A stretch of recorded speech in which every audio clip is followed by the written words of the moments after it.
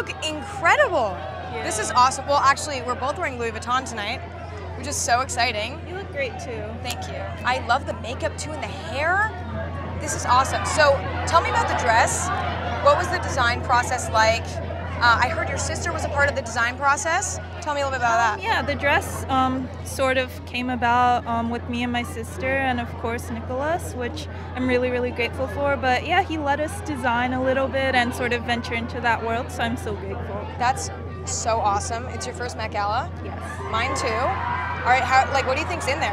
I have no idea, but I do know that you know it's a museum, so I'm hoping to see a lot of pretty art.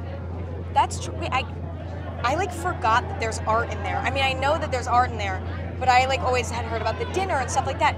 I want to see some art too. So we can like stroll through and look at some art together. Well, that's amazing. Um, you're awesome. You look great. Thank you. Have an amazing night. I'll see you in there. Thank you. You too. Bye.